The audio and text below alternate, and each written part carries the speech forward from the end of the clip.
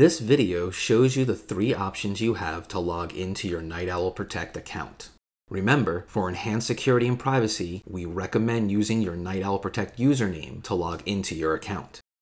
The following options can be used to log into your Night Owl Protect account.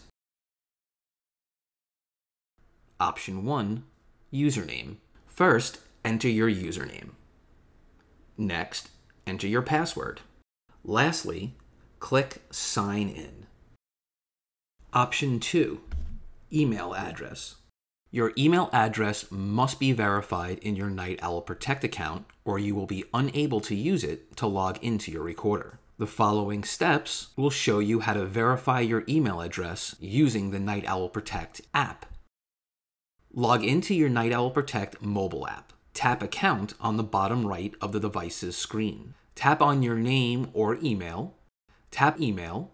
Tap Verify to receive an email with a secure code.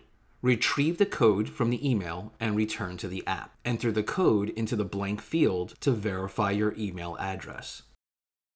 The following steps show you how to verify your email address using the Night Owl Protect website go to www.no-protect.com backslash. Log into your Night Owl Protect account with your username and password. Click Username in the upper right corner of the window. Click Manage My Account. Click Verify to receive an email with a secure code. Retrieve the code from the email and return to the website. Enter the code into the blank field to verify your email address. Option 3 Mobile Phone Number. Your mobile phone number was verified when you created your Night Owl Protect account. Follow these steps to use your mobile phone number to log into your account. When logging into a recorder, you must type plus one before the area code and mobile phone number. Enter your password and log in.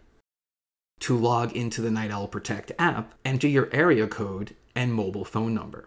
For the Night Owl Protect website, use the drop down box to select your country. Then enter your area code and mobile phone number into the phone number field.